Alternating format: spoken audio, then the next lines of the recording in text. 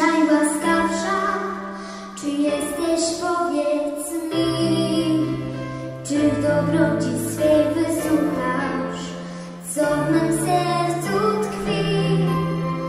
Może myślisz ty taką, jak do mnie mówić śmiesz. Widzę twoją twarz i myślę, że nędzarką byłaś też.